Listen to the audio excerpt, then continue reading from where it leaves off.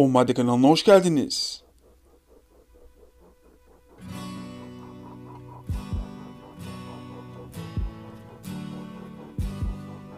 Bugün o maddede Tolga Tekin'i tanıtacağım.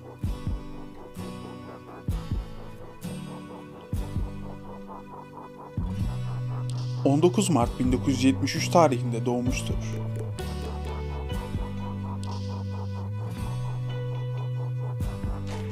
Ankara'da dünyaya gelmiştir.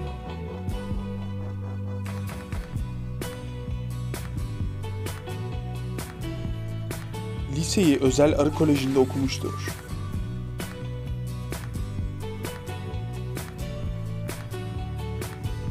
Hacettepe Üniversitesi Devlet Konservatuarı Oyunculuk Bölümünden mezundur.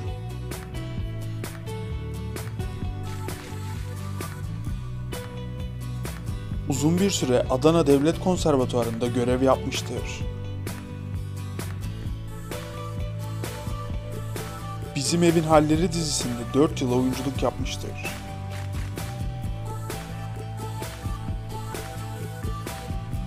...21 Temmuz 2013'te Zeynep Koltuk ile evlenmiş ve 2014'te boşanmıştır.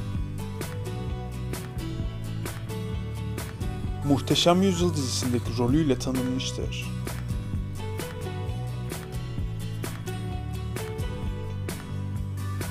2017 yılındaki Rüzgarda sallanan Nilüfer ödüllerinde yılın en iyi erkek oyuncusu seçilmiştir. Balık burcudur.